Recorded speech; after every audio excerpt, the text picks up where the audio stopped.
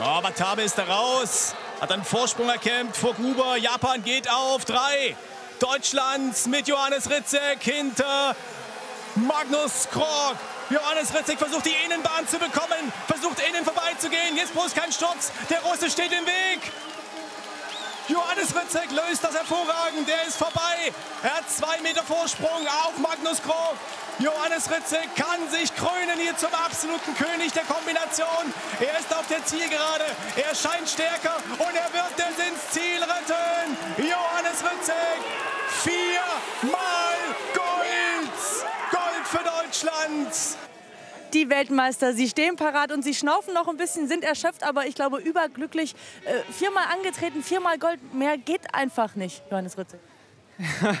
ja, das ist immer noch unbegreiflich. Also gerade das Rennen heute wieder war so spannend und, und gerade in der letzten Kurve dann noch mit dem Überrundeten. Aber ich wusste, auf der Zielgeraden ähm, bin ich sehr schnell und habe mir das extra noch vorher angeschaut.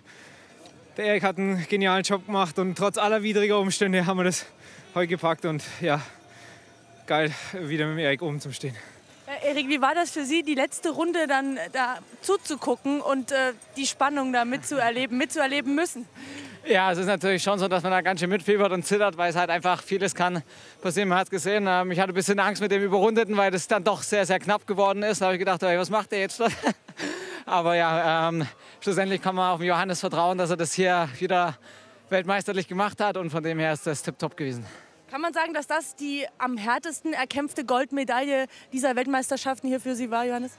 Ja, diese, diese Superlativen sind immer so schwierig. Wenn ich an die anderen Rennen zurückdenke, waren die auch hart ähm, erkämpft. Und auch das Teamgold, wo vielleicht überlegen aussah, war genauso hart erarbeitet.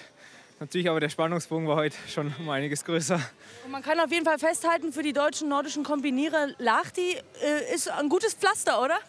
Ja, das haben wir vorher schon gewusst, dass Lahti uns ähm, recht gut liegt. Ähm, dass wir eigentlich, äh, wenn die Bedingungen passen, wir gut zurechtkommen hier. Und von dem her ja, sind wir sehr glücklich, ähm, mit so vielen Medaillen wieder nach Hause gehen zu dürfen. Ja, und das dürfen Sie jetzt auf jeden Fall noch mal genießen. Herzlichen Glückwunsch nochmal. Jetzt steht die Flower Ceremony erstmal an.